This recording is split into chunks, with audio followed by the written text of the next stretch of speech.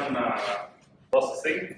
in the previous slide gives that uh, what are the primary processing uh, techniques which is used for making composites and uh, we have seen that there are two types of techniques that is one is solidification processing and another one is solid state processing. And solidification processing we have different techniques just like semi-solid, liquid metal processing, spray casting, infiltration and so on. and then we have solid state process which is uh, powder metallurgy, diffusion bonding and pulverization techniques. so here uh, maybe some two three processes I will elaborate in detail. So first one is the liquid metal casting.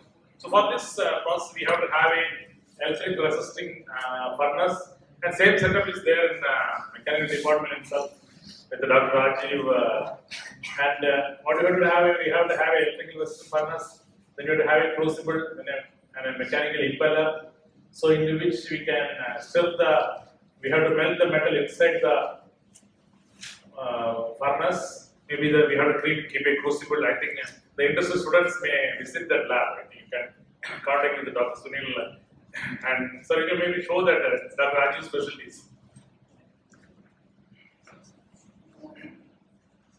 What it does is that we take the solid metal, melt it, insert a, a stirrer, mechanically stir it, then add the particles and make it. Treatment of reinforcement, then when the metal alloy elements are added, then the particles are homogenized by stirring it, and then later it gets cast to the components or billets or special casting or pressure castings. And these billets are the plates which is made as it can be rolled, extruded forged or can be remelted, and it can be further processed. So it has a lot of advantages and disadvantages. So one thing is it can be easily adapted because you can see any foundries.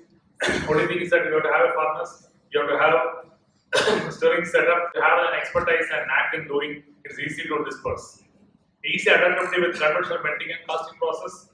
Direct common casting make, can be made. That means you can melt the metal, add the particles, and directly uh, make the mold, and you can make the components. And it, this is a batch process because it cannot be a continuous uh, process. So, and batches of six to seven tons, depending on the furnace capacity, we can do it. And there are even a lot of limitations also. So one of the limitations is uh, controlling the dispersion of the reinforcement because unless it is not properly dispersed, it will become agglomerates. because the, each particle has to be wet with the aluminium 100 percentage.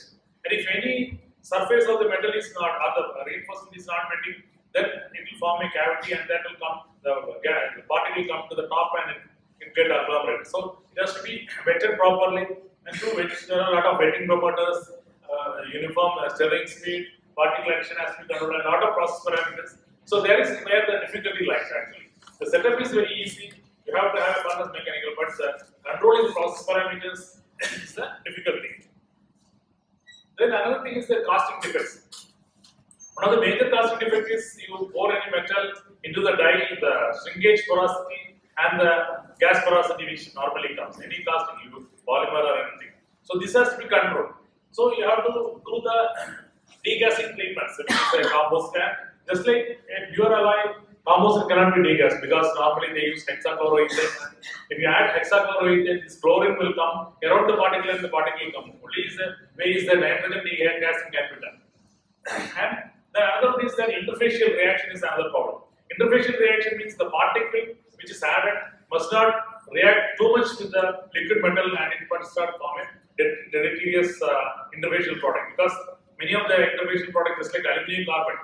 Aluminum, suppose you add silicon carbide into aluminum, it normally forms aluminum carbide and this aluminum carbide is hygroscopic in nature. That means uh, once you expose to air, it converts to alumina and methane and this methane will methane will go and there will be a lot of cavity will be formed. So that will lead to the corrosion and lot of problems are there. So aluminum carbide formation has to be controlled. So a proper temperature control has to be there.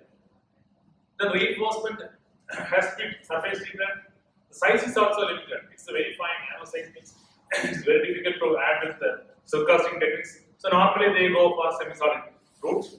The density difference between the matrix and reinforcement should be narrow. so your liquid metal is 2.6 and if you add a density of tungsten carbide or something as a reinforcement which is having 10 gram per immediately it will settle to the bottom. So the particle must have, suppose it is 2.6, then the density can be something from 2 to 3.5. Above that, definitely it will lead to the settle, even the larger particle size. So, lot of limitations are there, but we have to overcome these limitations by the controlling the process parameters. So, these are some of the components